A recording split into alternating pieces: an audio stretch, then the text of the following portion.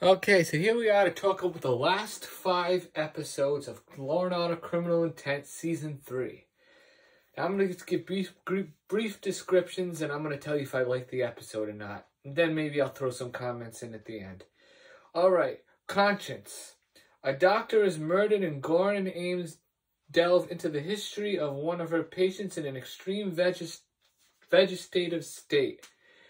Now, it's very rough, even if it's an actor, to look at somebody when they look like they can't, you know, they have no brain function or something, and it's difficult.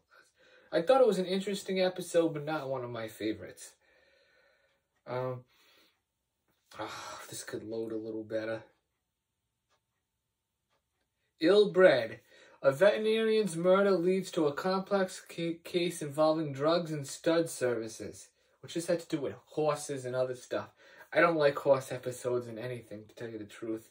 I don't mind it in like something like Walker Texas Ranger because that's the environment of Texas and stuff. When they showed horses getting killed or anything like that, or something happening where horses are near killings, it just doesn't get me the right way. So that's that one. Um, Fico di Capo. Oh, this is a good one involving kind of like a, there was a mob thing the murder of a mob witness and attempted murder of an undercover officer led the detectives into a chess game being played by a fading mob don. um, let's just say that was pretty interesting. It's always fun to have the mob come in and stuff because it's not easy to arrest the mob, even with today's standards.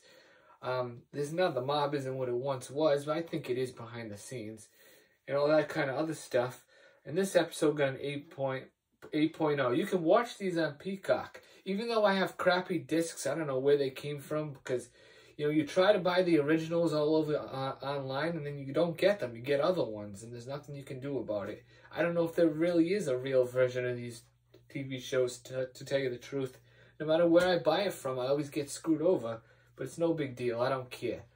Law and Order quality is Law and Order quality, and um, it doesn't need to be HD or, or it can even be a little less than standard definition because you're not looking at much. It's not like the Matrix or something.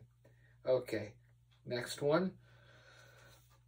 DAW or Door. Goren and Eames take on a doctor who believe whose belief in his own su superiority is exceeded only by his brazen murders of his patients and helping himself to their jewelry.